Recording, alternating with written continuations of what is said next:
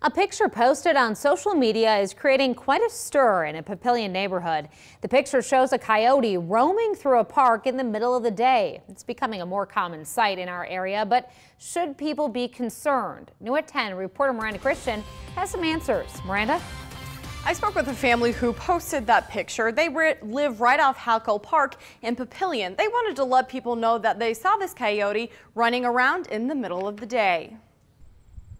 Halleck Park sits off 84th and Lincoln Street in Papillion. The place will have geese, squirrels, dogs on a walk, and the occasional coyote sighting.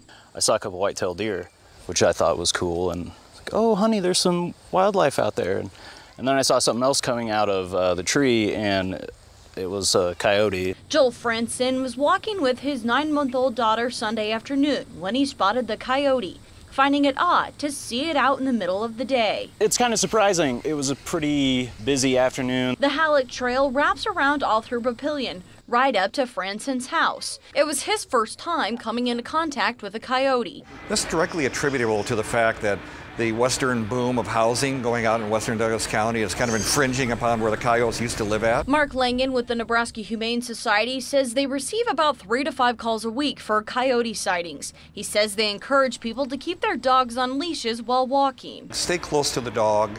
If you see a coyote, maybe make a loud noise to try to scare the coyote off. I think it's good to be aware of it. Amy Hendrickson comes to the park almost every day with her children. She hasn't seen any coyotes but is mindful of the sightings. We wouldn't bother the coyote if we saw it and just to keep an eye out.